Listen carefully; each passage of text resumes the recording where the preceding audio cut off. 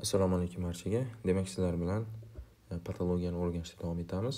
O'tgan mavzuda sizlar bilan e, uchta videodan iborat yallig'lanish tamoyillari mavzusini yakunlagan edik. Endi bugungi mavzuda yallig'lanishni birinchi turi bo'lgan o'tkir yallig'lanish haqida gaplashib o'tamiz sizlar bilan. Nima degani o'zi o'tkir yallig'lanish? Bunda organizmning patogenga nisbatan erta javob reaksiyasiga o'tkir yallig'lanish deb ataladi. O'zi yallig'lanishning maqsadi e, o'sha organizmda yallig'lanish keltirib chiqarishiga sabab bo'lgan patogenni e, chiqarib tashlash yoki ne o'sha nekrotik to'qimalarni to'qima to'qima shikastlangandan keyin unda nekroz paydo bo'ladi. Ya'ni o'sha joyda nekrotik to'qimalarni chiqarib tashlash va uchinchisi o'sha joyda tiklanish va e, o'sha tuzalish jarayonlarini boshlab berish edi. Va aynan patogen yuqqandan keyin birinchi minutlarda va soatlarda yuzaga keladigan javob reaksiyasi bu o'tkir yallig'lanish ekan. Va bunda o'sha gistologiyasida to'qimada shish va neytrofillar bo'lishi asosan o'sha gistologiyasida neytrofillarni ko'rinishi bilan xarakterlanadi. Ushbu rasmda mana neytrofillarni ko'rishimiz mumkin. Yadrolari demak bazofil bo'yalgan kemotaksilin va gemotoksilin va eozinda bo'yalganda. Endi tez javob bu sekunddan to minutgacha bo'lishi mumkin. Bundan tashqari qisqa muddatli davomiylikka ya'ni demak bu vaqt bo'ladigan bo'lsa tez javob beradi va tez tugaydi. Surunkali esa sekin javob bo'ladi va uzoq muddat davom etadi. Demak bu bizda tez. Buni deylik o'tkir deylik. Buni surunkali. Demak ham tez boshlanadi ham qisqa muddat davom etadi. Ya'ni bir necha minutdan bir necha kungacha davom etishi mumkin. Surunkali esa bir necha soatlar ichida boshlanadi va oylab hattoki yillab davom etishi mumkin surunkali yallig'lanish demak bu ichki immun tizim reaksiyasi asosan biz immunitetni bo'lgandik ichki va moslashuvchan ya'ni innate immunity hamda adaptive immunityga bo'lgan edik. Aynan o'tkir yallig'lanishda innate immunity ya'ni ichki immun tizimi demak yuzaga keltirar ekan. Spesifikligi ham juda yam kam. Ya'ni bakteriyani turini tanlab o'tirmaydi. Shunchaki yo'q qiladi xolos. Ya'ni hech qanaqa spetsifik emas. Chunki uni komponentlari hisoblangan o'sha neytrofillar natural killer hujayralar ham tanlab o'tirmay o'ldiradigan hujayralar hisoblanadi. Buni biz o'tgan video darslarimizda o'rgangan edik. O'tkir yallig'lanishni stimullovchi omillarga qaysilar kiradi? Bunga kiradi infeksiyalar travma nekroz yoki turli xil yod tanachalar bo'lishi mumkin va quyidagi sanaganlarimiz aynan o'tkir yallig'lanishni stimullab beruvchi faktorlar hisoblanar ekan. Endi mediatorlari bor o'tkir yallig'lanishda keltirib chiqar e, yallig'lanishda ishtirok etadigan faktorlar desak ham bo'ladi. Bunga toll like receptors ya'ni buni gaplashganmiz makrofaglarda dendritik hujayralarda ya'ni bularni biz antigen presenting cells degan edik ya'ni antigenni prezentatsiya qilib beruvchi hujayralar. Ular nimani taniydi? Damps bunda n ortiqcha. Damps bu damage associated molecular patterns va PAMPs pathogen associated molecular patterns. Nima degani bu? Demak, bizda bakteriya bor. bakteriyani yuzasi o'zini, demak, lipopolisaxaridlari yoki oqsillari, boshqa ehm, glikoproteinlari bilan qoplangan bo'ladi. Aynan o'sha qizil rangda ifodalangan molekulalarimiz demak mana shu qizil rangda ifodalangan molekulalarimiz bular PAMPs deyiladi. Ya'ni patogenga bog'liq bo'lgan molekulyar e, tuzilmalar. O'shani e, o'sha bizdagi makrofaglarimiz toll like receptors orqali tanib oladi. Yoki dendritik hujayralar va uni yutib keyin e, MHC class 2 bilan namoyish qilib beradi T hujayralarimizga DAMPS nima edi? Masalan o'zimizda hujayramiz bor edi uni o'sha bakteriya tushgandan keyin o'zidan endotoksin ishlab chiqarib parchaladi devorni buzdi. Natijada uni ichidagi o'sha denkasi tashqariga chiqib ketdi. Yoki qanaqadir nuklear oqsillari yoki mitoxondriyasidagi qaysidir elementlar chiqib ketdi va bular birgalikda damage associated molecular patterns deyiladi. Ya'ni shikastlanishga bog'liq bo'lgan molekulyar tuzilmalar. Bularni ham toll like receptors orqali tanib oladi. Makrofaglar va dendrit hujayralar keyin ularni ham yutib yo'q qilib tashlash vazifasini bajaradi. Bundan tashqari arxidon kislota unumlari biz buni aytdik. Ehm, Fosfolipaz a ikki yordamida mana shu shikastlangan membranadan hosil bo'ladi. Undan lipoksigenaza va siklooksigenaz yo'li orqali demak lekotrinlar tromboksanlar va prostaglandinlar hosil bo'ladi. Bundan tashqari mediatorlarga neytrofillar ezonofillar antitanalar bular b hujayralar hosil bo'ladi. Va semiz hujayralar kiradi. Mast cells. Qon tomir reaksiyalarida juda yam muhim ahamiyatga ega. Bazofillar komplement sistema hamda hageman faktor ishtirok etadi. Bu ham judayam hayot e, qism hisoblanadi. Komponentlarini demak o'tkir yalang'och komponentlar ikkita guruhga bo'lamiz. Vaskulyar ya'ni e, qon tomir va sellyulyar ya'ni hujayraviy komponentga bo'lamiz. Hozir bilan gaplashib chiqamiz. Vaskulyar komponent bu qon tomir komponenti ya'ni qon tomir reaksiyalarni o'z ichiga oladi. Bunda vazodilatatsiya vazodilatatsiya qon tomir kengaygandan keyin unga keladigan qon oqimi ortadi. Bunga sabab o'sha qon oqimi bilan birgalikda ichkarida immun hujayralarni olib kelish vazifasini bajaradi.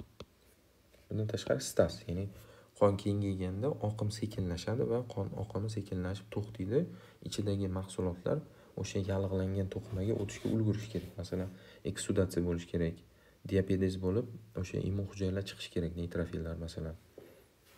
Va shuning uchun ham qon oqimi ortib ham staz bo'lib to'xtaydi. Bundan tashqari qon tomirni o'tkazuvchanligi ortishi kerak. Ya'ni endoteliyalar orasi ochilib kontraksiya bo'lib qisqarishi kerak va natijada ichidagi komponentlar bemalol demak tashqariga chiqa olishi kerak. Qon e, vaskulyar komponentni bo'lishdan maqsad yallig'lanish sohasiga hujayralar va oqsillarni olib kelish. Masalan komplement oqsillarni yoki hujayralardan neytrofillar makrofaglarni olib kelish hisoblanadi. Demak nima bo'ladi o'zi? Vaskulyar biz o'tgan mavzularimizda qanaqa qilib vazodilatatsiya bo'lishini qanaqa qilib qon tomir o'tkazuvchanlik ortishini qanaqa qilib shish kelib chiqishini ko'rgan edik. Deylik mana shu to'qimada demak qon tomiri o'tgan mana qon tomiri o'tgan. Unda o'sha bakteriya zararladi dedik.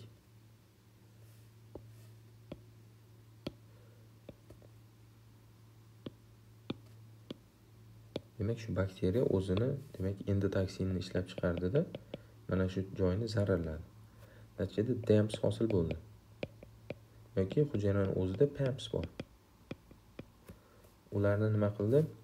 Bu yerda bizda makrofagimiz bor. Bunda qanaqadir qanaqa retseptorlar bor edi? Bu toll like receptors. Shu orqali dampsni yoki pamsni tanib oladida uni yutadi. Yutgandan keyin uni bu yoqda mhc class 2 bor. Ya'ni bu antigen prezentatsiya qiluvchi hujayra bo'lganligi uchun bunda mhc class 2 bor va u orqali demak bizda bu yoqda naiv t hujayra bor. Naiv degani hali hech qanaqa antigen bilan tanishib ko'rmagan e, hujayra degan. Ho'p endi bu bilan bog'lanadi. Demak o'zi buni yuqori qo'yamiz. Demak bunda t cell retseptor bor.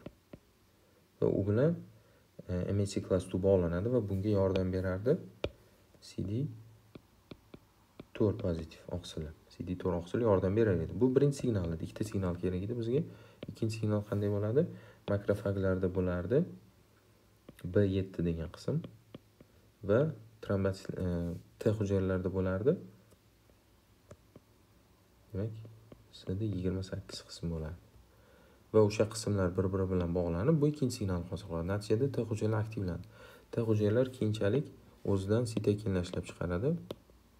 Va sitokinlar borib b hujayralarni boshqa t hujayralarni semiz hujayralarni mast cellsni stimullaydi.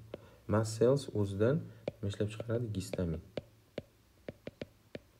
Gistamin biz uchun hozir muhim element. Gistamin ishlab chiqaradi. Undan tashqari mana shu yerda shikastlangan fosfolipidlardan hosil bo'lardi. Araxidon kislota unumlari masalan prostaglandin e ikki bu ham biz uchun muhim komponent. Undan tashqari e, shu joyga kelgan qon hujayralaridan bradikinin hosil bo'ladi. Bradikinin qanday hosil bo'ladi?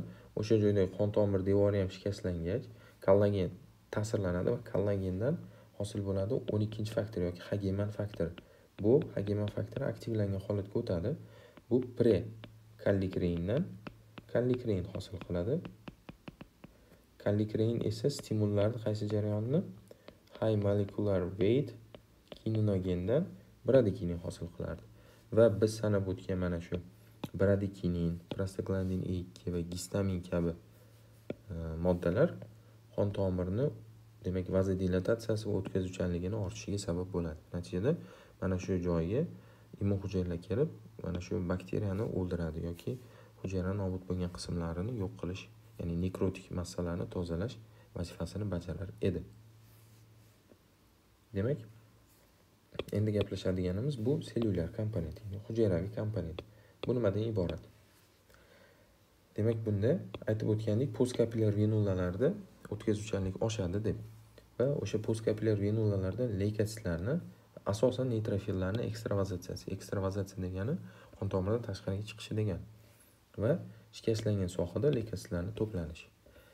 Leykositlar keyin aktivlanib fagositozni e, amalga oshiradi. Ya'ni mana shu joyga yetib kelgandan keyin bakteriyalarni va dampslarni e, yo'qotadi fagosit qiladi. Chunki ular ham keyinchalik yallig'lanishni tarqalishiga sabab bo'lib qolishi mumkin. Endi neytrofillarni ekstravazatsiyasi to'rtta bosqichdan iborat bo'ladi. Birinchi bosqich marginatsiya yoki marginatsiya va yumalash. Ikkinchi bosqich algeziya uchinchi bosqich transmigratsiya yoki buni diabetes deb ataymiz. To'rtinchi bosqich migratsiya yoki hemotraksiya deb ham nomlasak bo'ladi. Hozir barchasiga to'xtalib o'tamiz. Marginatsiya bu o'sha vazodilatatsiya e, postkapilyar postkapillyar bo'ladi va u yerda qon oqimi sekinlashadi va neytrofillar periferiyaga qarab harakatlanishni boshlaydi. Ya'ni qon tomir bo'lsa neytrofillar dastlab o'rtada oqib yuradi. Lekin qon tomir sekinlashgandan keyin bular sekin astalik bilan periferiyaga yaqinlashishni boshlaydi. Mana shu jarayon marginatsiya deyiladi.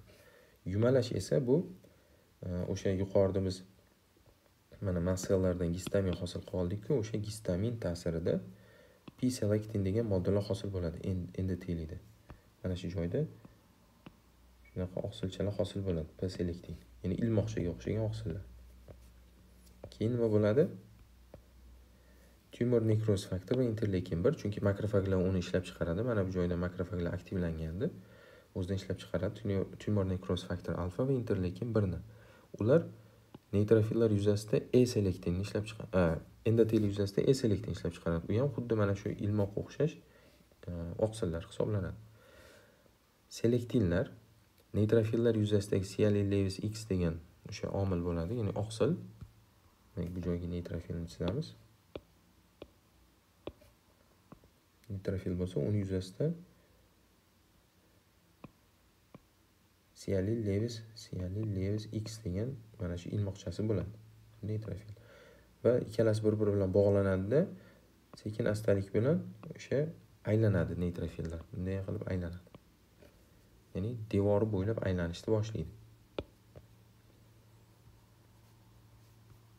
Demak siyali levis bilan selektinlar qo'shiladida o'sha devorda aylanishni boshlaydi.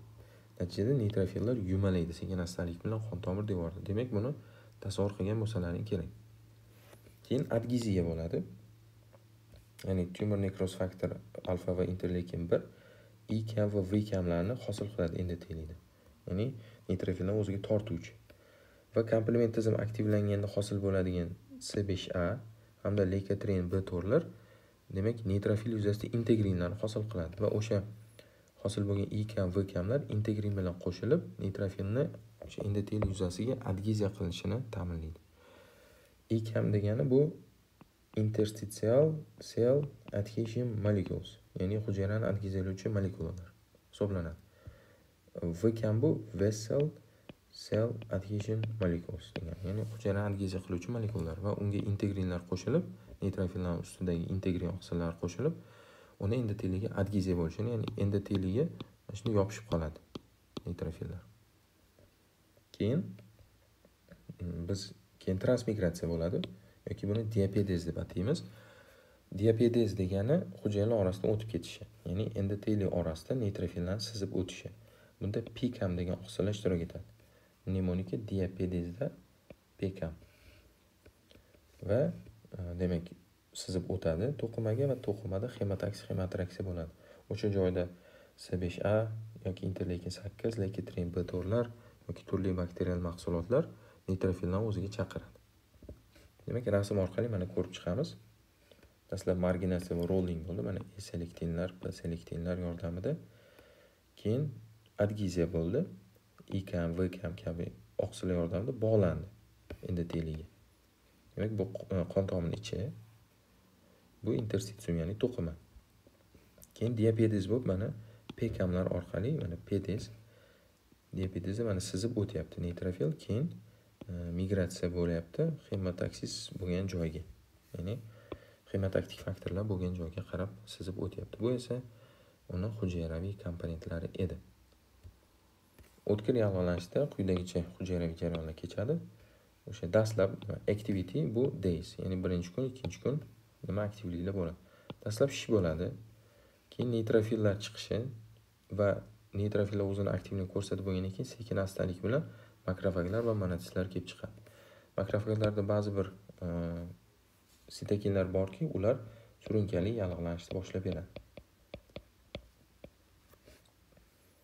virusli infeksiyalarda asosan limfositlar dominantlik qiladi gipersezuvchanlik reaksiyalarida esa eozinofillar dominantlik qiladi. Gipersezuvchanlikka alohida bitta videomiz bor. Unda demak to'liq gaplashamiz gipersezuvchanlik haqida. Endi o'tkir yallig'lanish bo'lyapti. Keyin baribir oxirlaydi o'tkir yallig'lanish reaksiyalari. Keyin nima bo'ladi? O'tkir yallig'lanish tugagandan keyin. Birinchi o'rinda tuzalib ketishi mumkin. Bunda patogenlar va qoldiqlar nekrotik qoldiqlar to'liq chiqarib tashlanadi va to'qima yana normal holatiga qaytadi. Ikkinchi variant bu chandiq shakllanishi mumkin. Qachonki to'qima shikastlanishi kuchli darajada bo'lganda unda biriktiruvchi to'qima ya'ni fibroz o'sadi va chandiq shakllanadi. Uchinchi holatda bu surunkali yallig'lanishga davom etib ketishi mumkin va aynan sizlar bilan keyingi mavzuda surunkali yallig'lanish haqida gaplashamiz. Undan keyin esa chandiq shakllanishi haqida ham gaplashib o'tamiz. Tuzalishi esa tushunarli bu o'zini holatiga qaytib qolishi. Demak shu bilan bugun gaplashadigan mavzuyimiz ham o'z nihoyasiga yetdi. Bugun sizlar bilan o'tkir yallig'lanish jarayoni haqida ko'rib chiqdik. Ba'zi narsalarga chuqurlashib o'tirmadim chunki ularni avvalgi mavzuda yallig'lanish mavzusida gaplashib o'tgan edik. E'tiboringiz uchun rahmat.